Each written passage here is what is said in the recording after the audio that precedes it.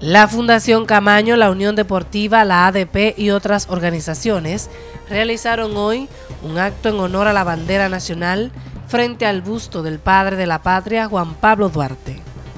La necesidad en estos momentos de realizar este acto aquí en el Parque Duarte, ante la figura del patricio Juan Pablo Duarte, en nuestra condición de presidente de la Fundación Camaño, inmediatamente acogimos la propuesta y mucho más cuando se une la Asociación Dominicana de Profesores ADP, el Ayuntamiento, el Club Gregorio Luperón y las demás entidades con sentimientos patrios que quieren rendir honor a la bandera nacional.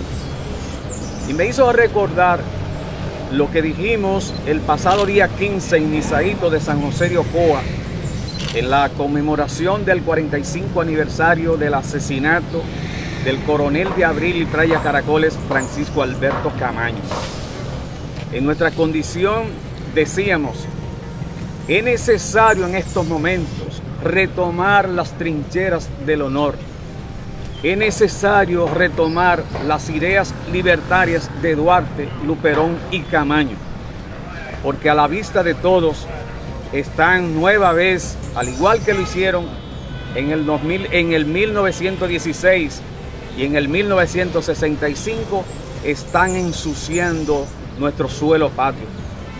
Están mancillando nuestra soberanía nacional con el concurso de las presentes autoridades.